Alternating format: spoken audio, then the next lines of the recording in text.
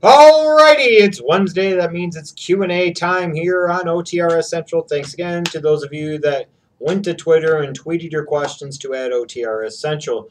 Without any further ado, let's get going, shall we? Bird Notice 3216 asks, why is Michael Cole the best announcer on Raw? And don't you think Jerry's time was up years ago? Um,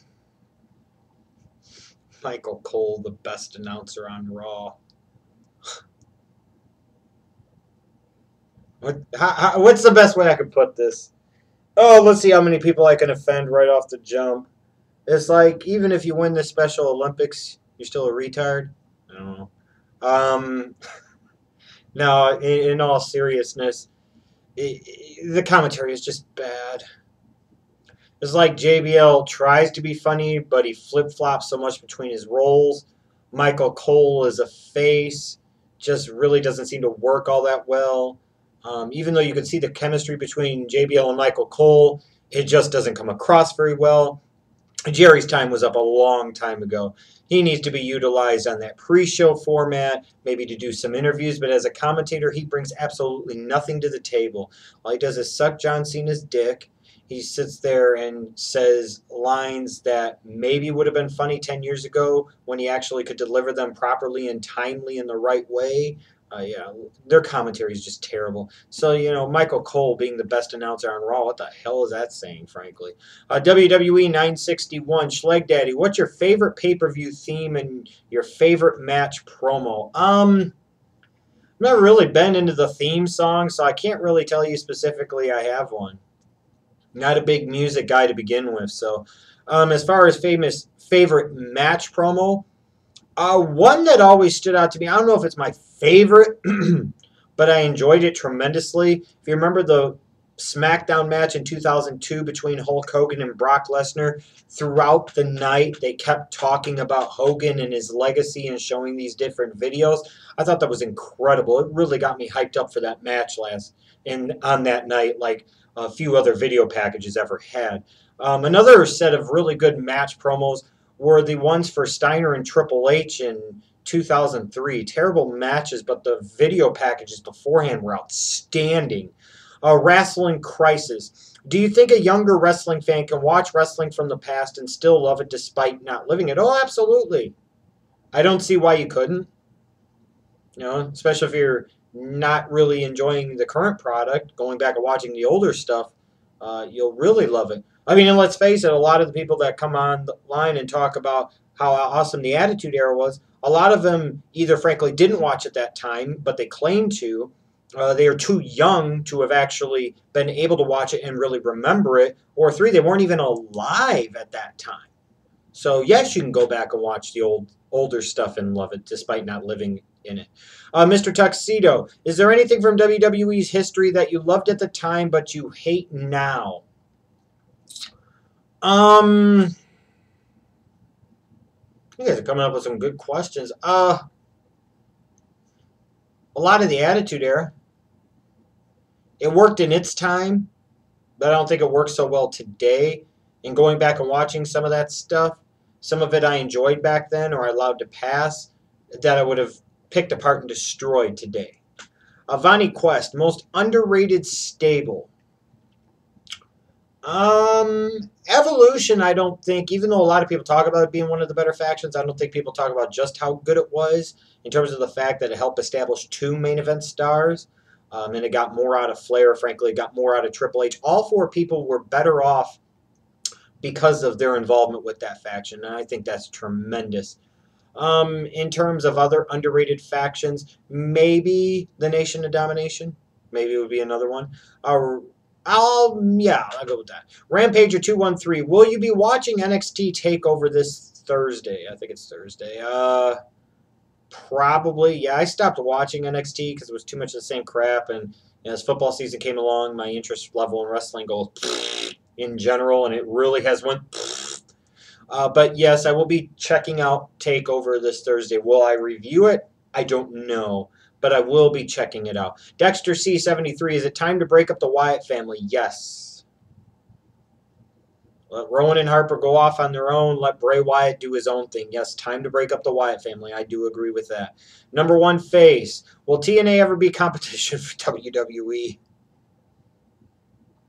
TNA needs to worry about getting their own television deal yet. So hell fucking no, they're never going to be competition of the WWE. Uh, who will win the 2015 Royal Rumble? Uh, I would assume at this point is being positioned for Roman Reigns to do so. But you never know. We could get a surprise. Uh, Rick Styles, 1985. Do Romo, Cutler, or Rivers need to win a Super Bowl for Hall of Fame consideration, or will their stats alone help? okay, let the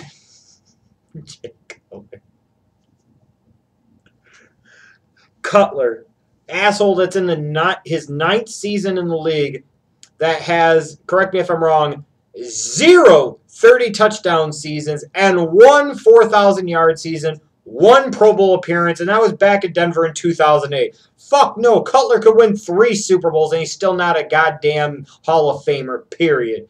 As far as Romo, if he won a championship, maybe two, it definitely wouldn't hurt because some of the statistics are there. But there would be a certain stigma that he would have to overcome that only winning a championship or two in Dallas, which isn't going to happen, would help. And then Rivers might be able to get in without winning a Super Bowl, but I think what taking his team to a Super Bowl and maybe winning one would cement his legacy and put him in the Hall of Fame. Uh, DeHarris here. What are your thoughts on Sean O'Haire passing away? Very sad. I know my Ashley, she was a big fan of Sean O'Haire, so she was, you know, she was sad about it this morning, and that sucks. You know, I, I'm, I'm assuming, maybe I shouldn't assume. I haven't been reading today. I'm assuming it's either some type of health issue um, or some type of suicide.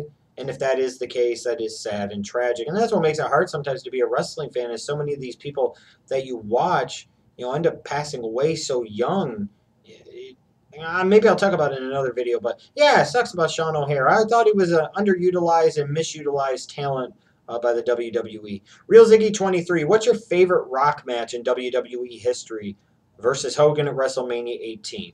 ALC 729, do you think it's possible that The Rock will face Brock Lesnar for the WWE World Heavyweight Championship at Royal Rumble 2015? That match I do not think is possible because I don't think if they were going to do that match, they would waste it at the Royal Rumble. They would make that the marquee attraction for WrestleMania 31. While I don't think it is the most likely option at this point, do I believe some of the reports that it is something that Vince McMahon is considering and might still push for? Oh, absolutely. Vince is still the guy. Vince still has final decision making power. He loves Rock. He loves Brock. You don't think he'd want to have that be the main event of WrestleMania 31? Get the fuck out of here. It's still possible. Until the title match is officially announced for WrestleMania 31, it will be possible. It will be. Now, it brings up confusion of with only the one title, how would you do it? Um, you know, that's an interesting question. Also, maybe you would do Rock and Brock, and it wouldn't be for the title, and that is also a possibility. Uh, JMax0244, who's your favorite Golden Girl? a fucking Golden Girls question. Rose. Was it sad that I got a Golden Girls question, or sad that I gave you a relatively quick Golden Girls answer? Uh, was it, or was it Blanche? Or is it Dorothy? Damn it, I don't know. The Golden Girls were all awesome. KCCO underscore UK. Would you classify John Cena among the top five promo cutters in the PG era? Yeah, probably. What what does that really say though? You know, he's a big fish in a small pond in that category. Edsel 4, will we ever see you make a reaction video of you watching Psycho Sid pick his leg up? Sure, what the fuck, why not? Maybe I need to do that sooner rather than later. I've been putting that off for a long time. I, I think the best way to do it, though, would be is if I could do like split screen and I'd have to figure it out, or you could watch the action on half of the screen and then you could watch my action simultaneously as it goes on. That would be the best way to do it because you could see it second by second how I explode into uproarious laughter and just the random off the wall shit I'll say and celebrate the awesomeness that is Psycho Sid and his leg breaking hits in 2001. Johnny Ace. Anyways, uh, the Mad Stork 83 asks, uh, do you think Ryback could have been the next face of the WWE? Possibility.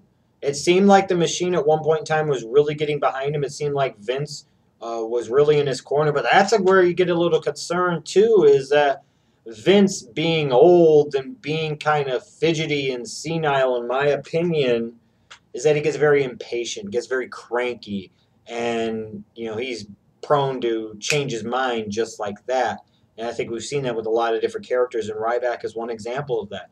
Could he have been a top guy? Yes. Could he have potentially have been the face? Maybe, maybe not. Um, I'm not quite sure if they would have went all the way with there, there with him, but number two, good guy, no question, which would make him a big deal. Um, and Handsome Hal why ask why does the WWE not put the E in their logo? This is part of the reason why people still call it WWF. Um, I would disagree with you about why people still call it WWF. For many years, people came up with it as it was called WWF. And a lot of that audience, as they got older, weren't around for the name change of WWE. Furthermore, I think the WWE uh, did a terrible job of rebranding themselves in 2002 and even still to this day. You know, it is it is a bad thing. I don't care what anybody says. It's not good when you go by one name or one set of initials and people are still calling you by an entirely different set of initials. That's not good. That means your product lacks an identity. It lacks an upfront consciousness in the mainstream. And I think the WWE um, holds needs to be held accountable for themselves for the failure to get the word out and the failure uh, to effectively get that WWE name out there and establish their identity. Uh, putting the E in the logo isn't really going to help that much because a lot of people, frankly, would still call it WWF. And to a degree, that might be the way it always is with older fans because that's all they were ever grown up with or accustomed to. So there you go. Thanks again to all of you guys that submitted your questions for this Q&A. I'll be back Friday for another Q&A. This will be the Facebook Friday edition, so you have to go to the Facebook page for OTR Central and post your questions there. Uh, anyways, thanks again for you guys that submitted your questions. Guys, ask some good ones this time. I'll see you Friday for that.